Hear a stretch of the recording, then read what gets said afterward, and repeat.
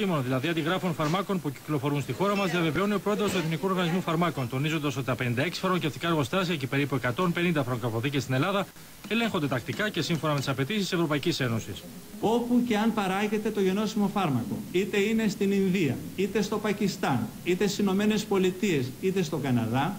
για να εισαχθεί στην Ευρώπη πρέπει το εργοστάσιο αυτό να έχει ελεγχθεί από εκπροσώπους επιθεωρητές της Ευρωπαϊκής Ένωσης, στις οποίες συμμετέχουμε και εμείς στα κλιμάκια αυτή με τους δικούς μας επιθεωρητές του ΕΟΦ, ακόμα και όταν έχουν πάρει αυτή την άδεια της πιστοποίησης,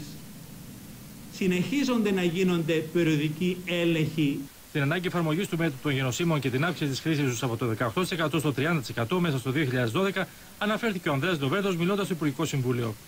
Θα προχωρήσουμε γιατί είναι κυβερνητική απόφαση. Είναι μνημονιακή υποχρέωση και ένας πολύ σημαντικό μέτρο το οποίο εξοικονομεί πόρους και δεν έχει επιπτώσεις στη δημόσια υγεία.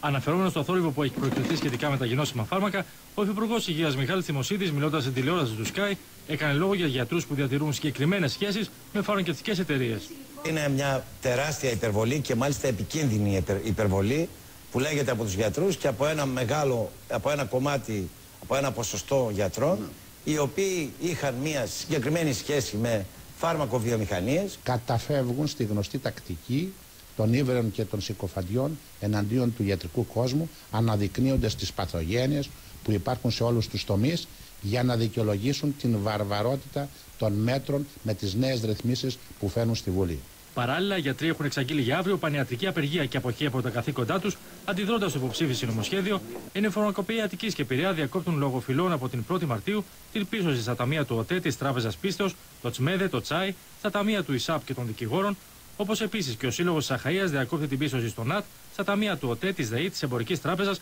και των στρατιωτικών ταμείων πλην της αεροπορίας.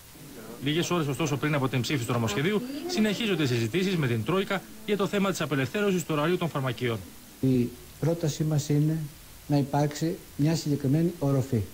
πάνω στο μέχρι πότε, πόσες ώρες μπορεί να δουλεύει ένας φαρμακοποιός. Πάνω σε αυτό το σημείο είναι οι συζητήσεις μας τις τελευταίες μέρες.